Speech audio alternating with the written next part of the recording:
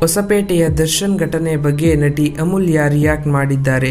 ಹೊಸಪೇಟೆಯಲ್ಲಿ D boss Darshan ರವರ ಮೇಲೆ ನಿನ್ನೆ ನಡೆದ ಕಿಡಿಗೇಡಿಗಳ ಕೃತ್ಯ ಖಂಡನೀಯ ಕಲಾವಿದರಿಗೆ ಕಲೆಗೆ ಬೆಲೆ ಕೊಡದಿರುವುದು ಎಲ್ಲ ಕನ್ನಡಾಭಿಮಾನಿಗಳ ಭಾವನೆಗಳಿಗೆ ಧಕ್ಕೆ ತರುವ ಕೆಲಸ ಇದಾಗಿದೆ. ಈ ರೀತಿ ನೀಚ ಕೃತ್ಯಕ್ಕೆ ಯಾರೂ ಇಳಿಯಬಾರದು. ಪೊಲೀಸ್ ಇಲಾಖೆ ಆ ಕಿಡಿಗೇಡಿಗಳನ್ನು ತಕ್ಷಣ ಬಂಧಿಸಿ ಕಠಿಣ ಕ್ರಮ ಕೈಗೊಳ್ಳಬೇಕು. ಮುಂದೆ ಇಂತಹ ಘಟನೆಗಳು ನಡೆಯದಂತೆ ಕ್ರಮ ಕೈಗೊಳ್ಳಬೇಕು.